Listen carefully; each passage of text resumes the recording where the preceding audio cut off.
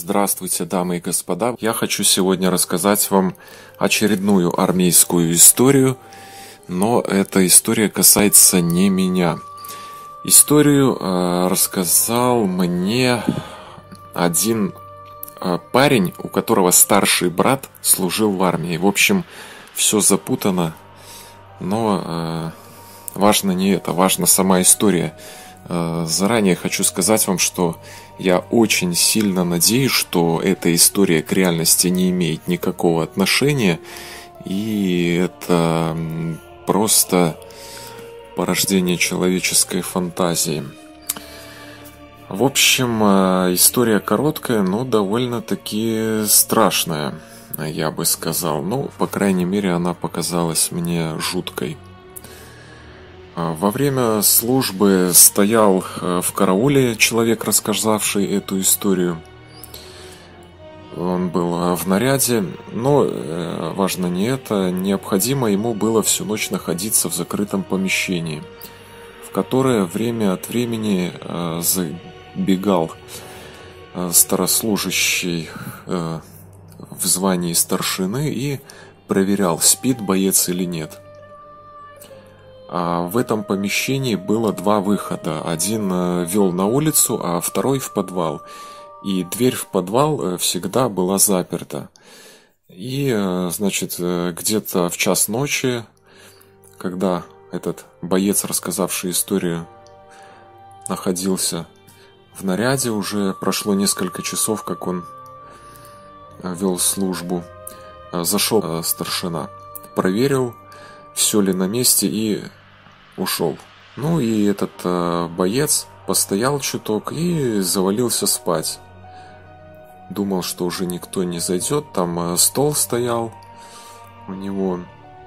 И так как э, за время службы научился определять, когда приходит этот старшина, когда нет, ну, примерно отметил себе временной промежуток и решил немножко дремануть. Лежит он на столе и слышит, как в дверь из подвала кто-то скребется. То ли стучится, то ли там скребется, непонятные звуки, в общем. Сначала внимания не обратил, ну, естественно, первая мысль, которая пришла разумному человеку в голову, что это крысы. Так как подвал, где могут прятаться крысы, ну, скорее всего, в подвале, чтобы оттуда потом совершать вылазки, воровать еду и уже свое крысиное потомство и своих сородичей крысиных там содержать в подвале. Но потом уже вроде как он слышал, что явно начали в эту дверь стучать. Подошел он к двери в подвал, ну хотя знал, что, по идее, никто оттуда стучать не может, но спросил, мол, кто. Ответа нету. Стучаться еще громче стали. Ночь. Выходить на улицу нельзя. Наряд – да и вокруг все равно никого нет. С той стороны потихоньку начали вовсе ломиться в дверь. Боец уже начал, э, как говорится, какать кирпичами. Подпер столом дверь, сел на стол для верности, э, ну и ждет, что будет дальше. Выходить нельзя. Трусость свою боец показывать тоже не имеет права, хоть и страшно было ему. Ну а там не успокаиваются, уже вроде как даже бросаются на дверь все сильнее и сильнее. Ну, так и просидел он часа три, пока ломиться не прекратили. Это уже было дело к рассвету. Вот если примерно в полночь ломиться начали, 3 или 4 часа он просидел, ну, примерно, грубо говоря, около 3 или 4 утра было.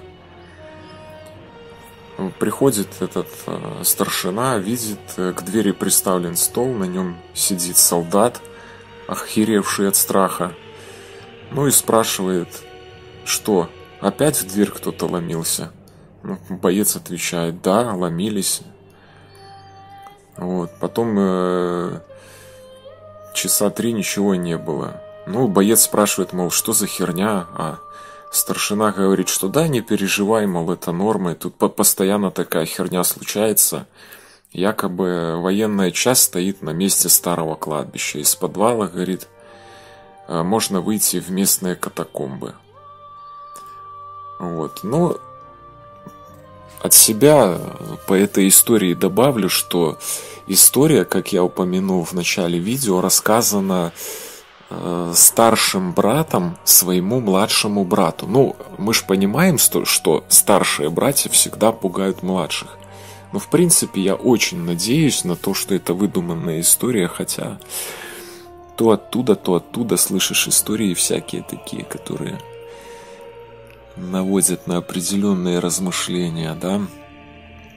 Да и некоторые люди, которые рассказывают всякие истории такие мистического характера, скажем так, они, эм, ну, э, глядя на них, как-то видно по их поведению, по их манере говорить, что будто бы они не сомневаются в правдивости рассказанных ими историй.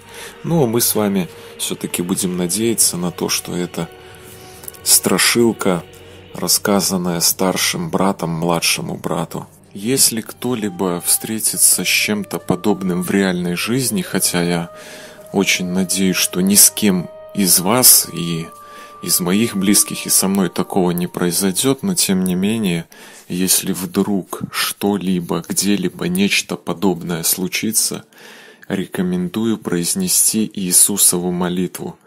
Звучит она так. Господи, Иисусе Христе, Сыне Божий, помилуй меня грешного или меня грешную. Аминь. На этом я видео буду заканчивать, ребята. Пока.